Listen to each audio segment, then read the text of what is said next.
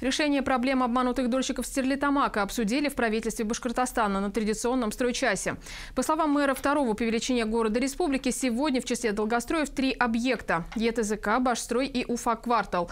Самая серьезная ситуация с двумя домами единой торгово-закупочной компании с суммарной площадью более 18 тысяч квадратных метров. Обе многоэтажки на 211 и 161 квартиру готовы всего на 5%. Строительство заморожено, заведено уголовное дело. Городские власти вместе с потенциальными застройщиками рассматривают варианты завершения строительства, рассказал мэр Стерлитамака Владимир Куликов. Необходимо провести мероприятие по регистрации объектов незавершенки. А, здесь это а, нужно через арбитражный суд.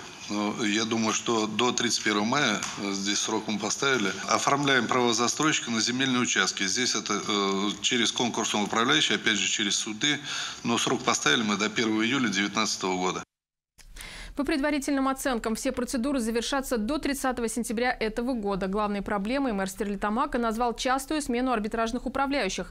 Одна из основных причин – их работу просто некому оплачивать. В свою очередь, руководитель компании-застройщика заявил, для разработки финансовой схемы завершения строительства необходимы реестры кредиторов и тех, кто претендует на жилплощадь. На сегодняшний день документы просто не сформированы.